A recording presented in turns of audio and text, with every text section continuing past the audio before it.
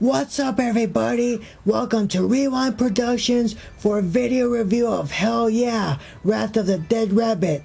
I will be your reviewer, Hong, the Ching Chong.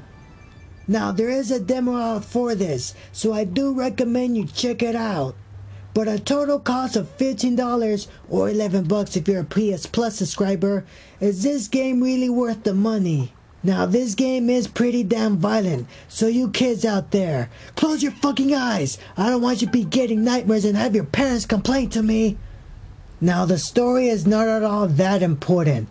All you really need to know is about this very angry rabbit who's the prince of all hell and kills his enemies in gruesome ways. This game blends a pretty unique game style. It kinda reminds me of Sonic CD and Earthworm Jim. It keeps the player engaged with the satisfaction of killing the rabbit's enemies. It does come with its fair amount of challenges though.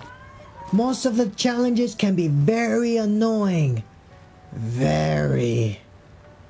It does a good job twisting up the game style.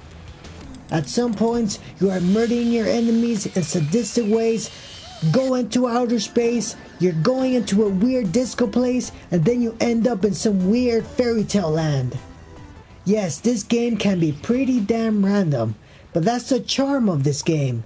However, killing the monsters does loses its touch over time, and you can end up being stuck at some points in the maps wondering where to go next. The graphics look gorgeous and the music plays great, but the value loses over time as many things get overused or repeated throughout the game. There is some replayability, but not enough to keep you engaged for much longer. Just enough to have a few minutes of fun. Hell yeah, Wrath of the Dead Rabbit gets a 7.5 out of 10. It's a very good game, but is it worth the money? It depends.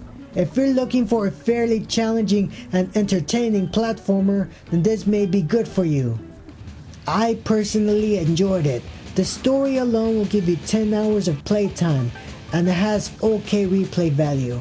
I recommend you check out the demo first before making your decision. If you liked it as much as I did, then buy it. There is a decent amount to play around with.